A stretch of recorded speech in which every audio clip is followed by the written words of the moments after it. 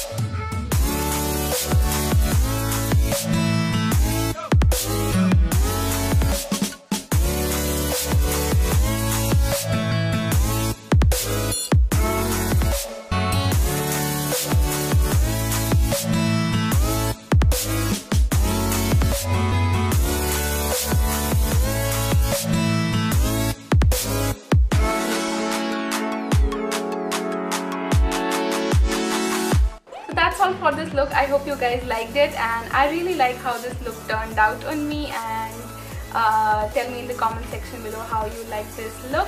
And like I always say thank you so much for watching my video. Do not forget to give a thumbs up to this uh, video and also do not forget to subscribe to my channel. It will uh, mean a lot to me and thank you so much. Bye bye